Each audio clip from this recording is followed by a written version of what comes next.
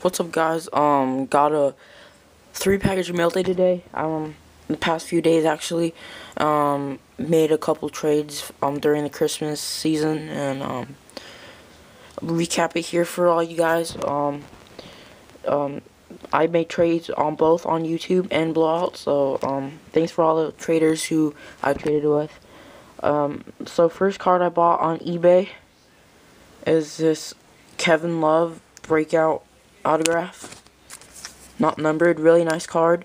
Um, really like the design of it.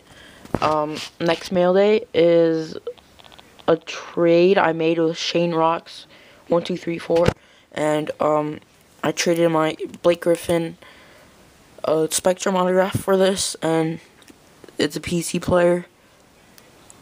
Kobe Letterman autograph, the N, and that is numbered out of 240. And then the next card I made um, a trade on blowout again um, for Jeremy Lin contenders short print patch autograph. Blake Griffin Prizm autograph. So very nice card. I actually tried a box of Prizms over there, and I will make a recap of that shortly. Um, today or tomorrow. Oh, no, not tomorrow, because it's New Year's. Um, but pretty soon.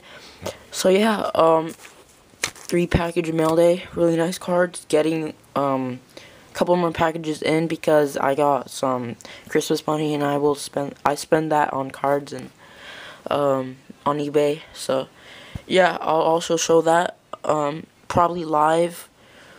Um, so yeah. Oh, also for the trade on Shane Rocks one two three four, he he was really nice and he threw in these extras.